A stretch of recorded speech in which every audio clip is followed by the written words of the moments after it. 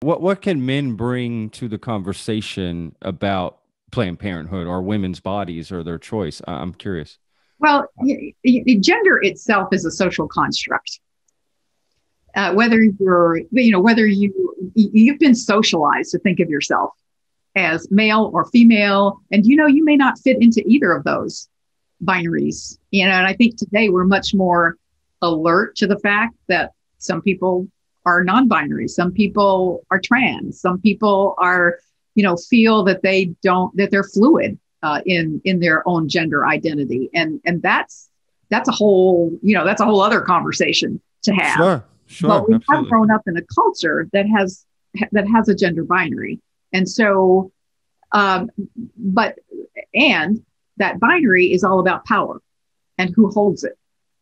And so, in order to have equality uh, in any respect, it's important to have all of the people at the table in, in, a in a community in a culture in an organization or whatever.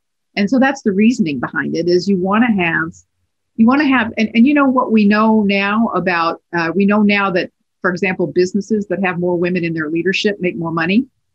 I believe that. Businesses, i believe that. the other piece of that is that businesses with more diversity in general make more money and so i think for any organization you want to have you want to have diversity. You want to have different kinds of people not just gender differences but but you want to have you want to have uh, ethnic and racial differences. You want to have cultural differences. You want to have uh, age differences. You want to be able to have many different perspectives at the table in order to do the best um, innovation creativity uh, solve problems and be able to understand look we live in a diverse society so we need to have we need to have everybody at the table working together to solve whatever problems we're trying to solve. So, I mean, that certainly includes gender diversity. Absolutely. No, I love that answer. I, I think that's I think that's fantastic. That that makes absolute uh, the most sense, uh, to be frank. But my first thought was, well, what's a guy doing at Planned Parenthood? What, what's he gonna and what's no, he gonna know? But, have something to do with this, you know. Guys yeah, did have something to do with pregnancy. Yeah, that's a good point. Yeah, uh, yeah, yeah, yeah.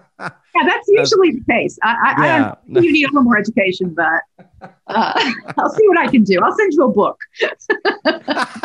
Make sure it has pictures, or I won't understand it.